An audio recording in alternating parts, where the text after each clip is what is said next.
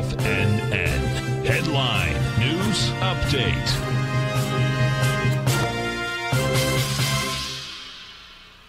Hi everyone, Basil Chapman on this Thursday, September the 30th. Of course, this is the last day of the month. You'll see this candle right here on the monthly chart, dating weekly, monthly chart of the Dow.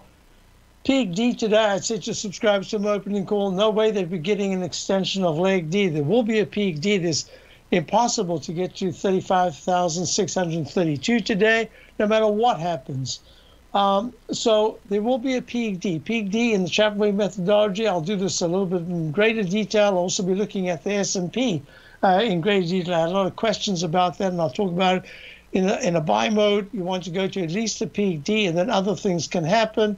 And here we are at a peak D in the monthly chart, G slash C in the weekly, and we've already had our peak E at 35,631 in August of uh, this year at all-time high. The S&P and the Dow's only up nine. It's tried to rally again, cannot make it.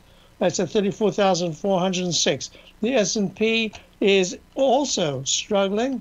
It had a bounce, and now it's only up 13 at 43.73.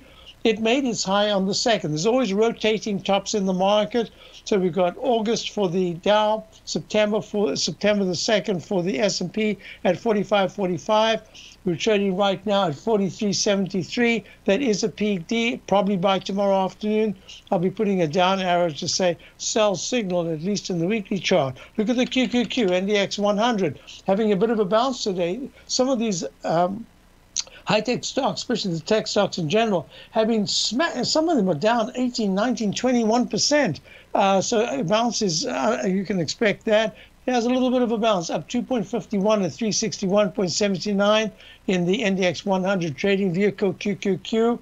And as I say, we've been short since about uh, the um, 10th or so of September.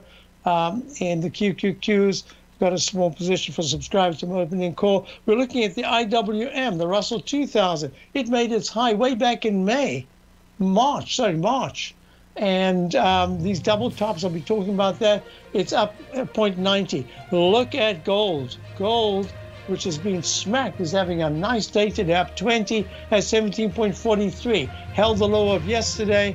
This is very important. And the dollar, the dollar is now in leg E. It's probably going to be pulling back with crude oil, maybe.